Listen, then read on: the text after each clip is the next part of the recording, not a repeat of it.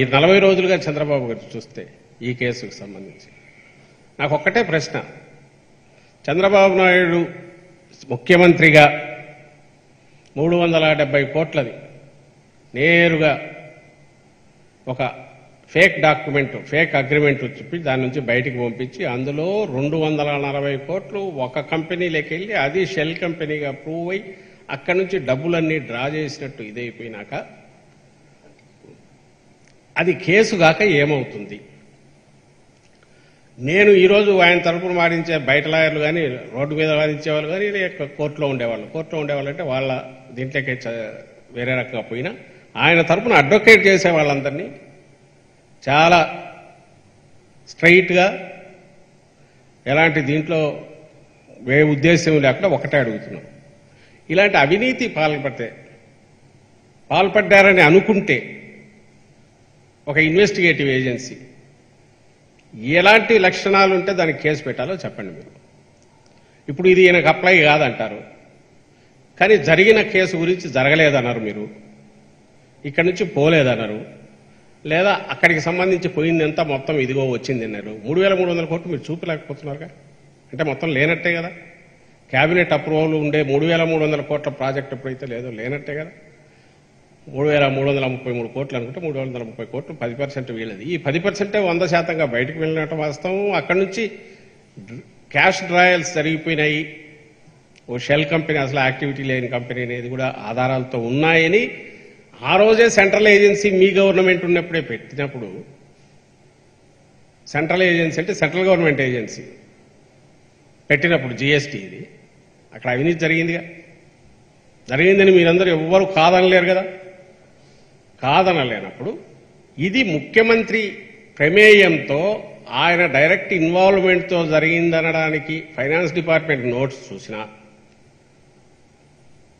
లేదా ఆయన ఎవరైతే ఈ ఫేక్ అగ్రిమెంట్ సంతకాలు చేయడం చిన్నతనికి నాలుగు పదవులు ఇచ్చి తన ఒళ్ళో కూడా తన సీఎంఓలో పెట్టుకొని బయట వ్యక్తిని తెచ్చి పెట్టుకొని అతనే సంతకాలు చేసినట్టు అతను ఎన్ని ఫైనాన్స్ డిపార్ట్మెంట్ అప్రూవల్ అతనే తిరిగి చేయించుకున్నాడనే ఆధారాలతో ఆధారాలన్నీ ఉన్నాయి. ఎవరైనా చూసుకోవచ్చు అన్నాక. ఇంత జరిగాక ఆయన ప్రమేయం ఉంది ఆయన సంతకాలు ఉన్నాయి సీఎంగా. ఆయన చెప్తేనే రిలీజ్ చేస్తున్నామని నోట్ ఫైల్లో అధికారులు రాశారు. ఆ విషయం వాళ్ళు మళ్ళీ వన్ సిక్స్టీ ఫోర్ స్టేట్మెంట్ ఇచ్చారని ఇంతగా చెప్పిన తర్వాత నువ్వు ఇన్వాల్వ్ అయినావన్నా ఆధారాలు ఉన్నాయి. సీఎం చంద్రబాబు ఇన్వాల్వ్ అయినాడు అనడానికి స్కిల్ డెవలప్మెంట్ స్కామ్లో. దానికి సంబంధించి మూడు వేల మూడు వందల కోట్లకు కేబినెట్ అప్రూవల్ ఇచ్చిన దాంట్లో మూడు వేల మూడు వందల చిల్లర కోట్లకు వచ్చిన దాంట్లో నైంటీ పర్సెంట్ ప్రమేయం సంబంధం మళ్ళీ చర్చకు లేకుండా తర్వాత చేసుకున్న అగ్రిమెంట్లో సంతకాలు ఎవరెవరు రకరకాలు ఉన్నాయి. ఆ అగ్రిమెంట్లో డేటు ఇవేం లేవు. ఆ అగ్రిమెంట్లో ప్రభుత్వ వాటానే వంద శాతంగా చూపించి దాన్ని నేరుగా రిలీజ్ చేశారనేది అది పోయిన తర్వాత అందులో నుంచి ఏ కంపెనీ అయితే డిజైన్ టెక్ ఉందో దాని నుంచి రెండు వందల నలభై కంపెనీలు నేరుగా ఇంకో దానికి షెల్ కంపెనీకి స్కిల్లర్ అనేదో ఏదో కంపెనీకి వెళ్తే అక్కడి నుంచి ఇంకా సప్లై చేసినట్టు లేకుండా ఫేక్ ఇన్వాయిస్లతో బయటికి పోయింది క్యాష్ వెళ్ళిపోయింది అన్నారు. ఇంకా నువ్వు నువ్వే నువ్వు సంతకాలు చేసావు. నీ మనిషి రిలీజ్ చేశాడు. బయటకు అక్కడికి వెళ్ళిపోయాయి బయటకు వెళ్ళినవి ఏం చేస్తారనేది నీ పిఏని అడుగుదామని చూస్తే అతను రాత్రి రాత్రి అమెరికా పంపించేశావు.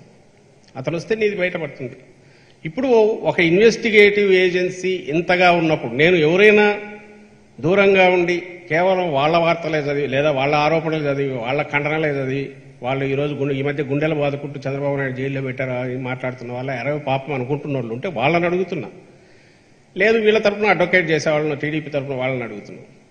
ఇంతగా ఉన్నప్పుడు ఇది కేసా కాదా? ఇంతగా ఉన్నప్పుడు సీఎం ఇన్వాల్వ్మెంట్ ఉందని అనుకోవడంలో తప్పు ఉందా ఇన్వెస్టిగేషన్? ఇంత నేరుగా ప్రత్యక్షంగా ఉన్నప్పుడు కేసు పెట్టినప్పుడు అక్రమంగా ఏం నిర్బంధించలేదే? ఎవరికి తెలియకుండా రా దగ్గర పక్కనేం పెట్టలేదే.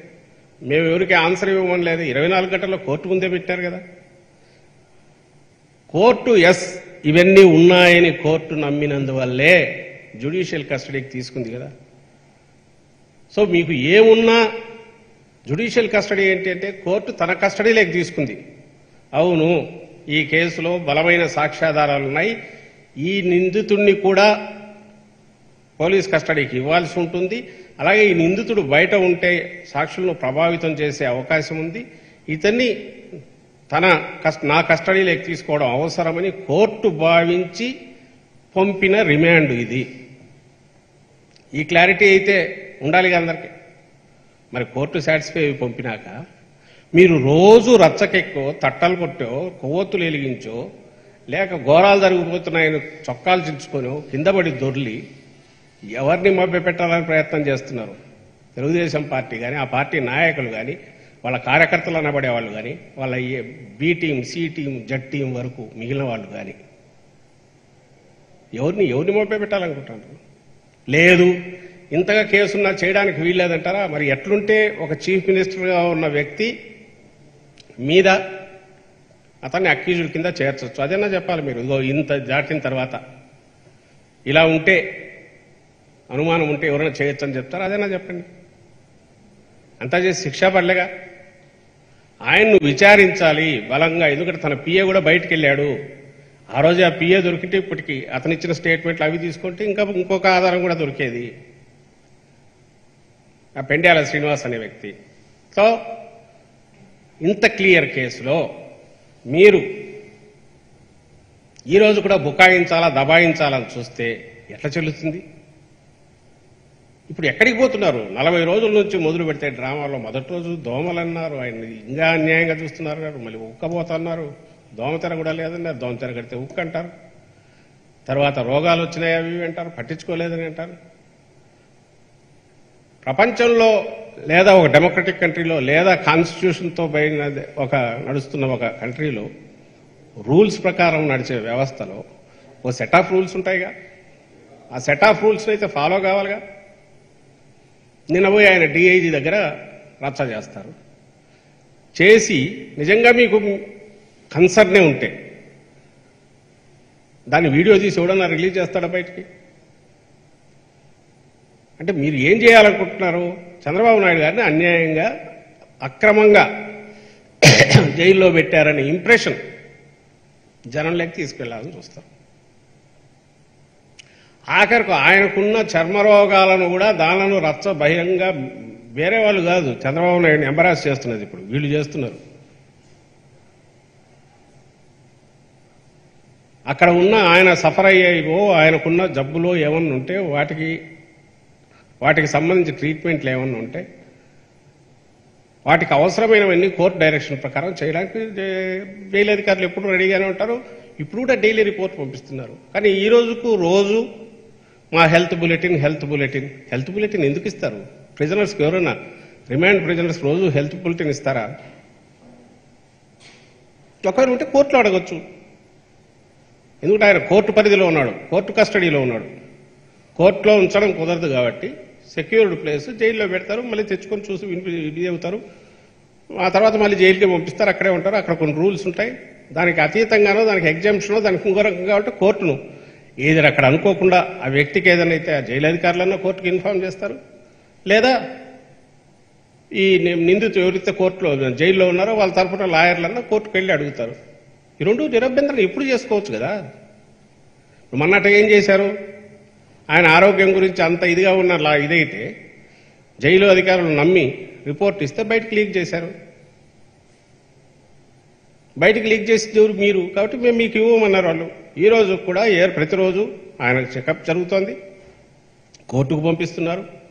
అలాగే ఫ్యామిలీకి కావాలంటే ఆయనకే ఇస్తున్నారు చంద్రబాబు గారికి. ఆయనే చూసుకుంటున్నాడు. ఆ రోజు వాళ్ళు చేసిన రచ్చ బయటికి లీక్ అయింది. మా కొట్టివేతలు అవి చూసి చూస్తే ఒకవేళ ఆయనకు సంబంధించి ఉన్న వాటిలో ఎంబరాస్మెంట్ ఉంటే ఎవరికి నష్టం? ఓ పేషెంట్కి సంబంధించిన గోప్యంగా ఉంచుకోవాలనుకున్న ఉంచాల్సిన నివేదన నుండి అవి పబ్లిక్ చేయాలి చేసుకోవడం మీరు చేసుకుంటే ఆయన బట్టలు ఇప్పి రోడ్డు మీద ఎవరు మీరు నిలబెడుతున్నారు. మీ కుటుంబ సభ్యులు మీ పార్టీ వాళ్ళు. అందుకే ఆ మరుసటి రోజు భార్య కొడుకు పోతే తిట్టినట్టున్నాడు. వాళ్ళు వాళ్ళ మొహాలు చూస్తే కొంచెం డల్గానే ఉన్నాయి బయటకు వస్తే. మీరేం చేస్తున్నారు నన్ను? మీరే నా ఇది తీసేట్టున్నారు తెలియదు. దేనికైనా అది పిల్ల చేస్తున్న స్టేజ్ కూడా దాటిపోయింది వీళ్ళది. నిన్నటి మరి ఆయన. ఇప్పుడు ఇందులో మెడికల్ రిపోర్టు వస్తాయి. రెండు ములాఖాతులు. లాయర్ ములాఖతులకు సంబంధించి అది డిస్క్రిప్షన్ ఆఫ్ దిస్ ఎప్పుడైనా కలవడానికి ఇవ్వాలనేది ఉంటే రోజుకు రెండు పెడితే ఇబ్బంది అవుతుంది. ఎందుకంటే వీ వీ లోపల నుంచి బయటికి తీసుకొచ్చి మళ్ళీ పోయేటప్పుడు అన్ని ఎక్కడ అన్ని క్లోజ్ చేసేయాలి. ఎవరిని బయట ఉంచకూడదు. ఆ టైంలో ఏ యాక్టివిటీ ఉండడానికి వీల్లేదు. ఎందుకంటే సెక్యూరిటీ రీజన్స్ కాబట్టి ఒకసారి అన్నారు. నాకు తెలియక అడుగుతాం మామూలుగా. ఒకసారికి మించి లాయర్లు ఏం మాట్లాడతారా? రోజుకు? రోజుకు ఒకసారికి మించి లోపల ఉన్న ప్రిజనర్తో వాళ్ళ లాయర్లు రోజుకు మీ- ఒకసారికి మించి ఏం మాట్లాడతారు? ఒకవేళ కేసు నడుస్తుంటే ఎగ్జామ్స్ ఎక్స్ట్రాడినరీ దీంట్లో ఇప్పుడు తీసుకో. దట్స్ డిఫరెంట్ ఇష్యూ కానీ అది ఒక ఇష్యూ ఒక ములాఖత్కే ఇది పరిమితం చేశారు. ఓఎమ్మ అన్యాయం అయిపోతుంది. నిన్న డిఐజీ దగ్గరికి వెళ్ళి మా నా నాయకుడు ఇది స్పెషల్గా చూడాలని గొడవ. అతను ఒక పక్క చెప్తూనే ఉన్నాడు అయ్యా ఇది ఆయన ఇప్పుడు ఎవరు ఏ ఏ దీనికి ఏ కేటగిరీ కిందకి వస్తారు? జుడిషియల్ రిమాండ్ కింద ఉన్నారు. అంటే కోర్టును అడగాలి. మీరు అని చెప్తూనే ఉన్నాడు అధికారి. కానీ ఆ వీడియో చూసిన వాళ్ళకి ఏమనిపిస్తుందంటే బయటికి అది పోతే అసలు ఏ పాపం ఇంతగా ఆయన సిక్ అయి ఉంటే వాళ్ళ ఎంతగా అవుతుంటే అంత అన్యాయంగా బిహేవ్ చేస్తున్నారు ఆ జైలు అధికారులు గవర్నమెంట్ జగన్మోహన్ రెడ్డి గారు అని అనిపించే అవకాశం ఉంటుంది. అంటే మీరు ఏమి ఇంప్రెషన్ క్రియేట్ చేయాలంటున్నాడు కేసు నుంచి దృష్టి మళ్ళించి ఆయన చేసిన అవినీతి నుంచి దృష్టి మళ్ళించి ఆ రోజుకి ఎట్టో అట్లా లాగేస్తే ఏదో ఒక ఇష్యూ మీద ఒకరోజు దోమ మీద ఓ రోజు చీమ మీద ఓ రోజు ములాఖతులు ఇవ్వలేదని ఓ రోజు ఆరోగ్యం బాగాలేదని. ఫ్యా- డాక్టర్లట. ఇరవై ఏళ్ళ నుంచి ట్రీట్ చేసే డాక్టర్లు ఉన్నారు వాళ్ళే వెళ్ళి చేయాలంట. ఎవడన్నా తలకాయ ఇది ఉండేవాళ్ళు అనే ఇదేనా? జరుగుతుంది అది సాధ్యమా? కావాలంటే అడగొచ్చు కోర్టును. సార్ ఇది టిపికల్ ఇది వాళ్ళే వెళ్ళాలంటే కోర్టు పర్మిషన్ ఇస్తే అవి చేస్తారు? ఎవరికైనా ఇది అప్లై అయ్యేదే.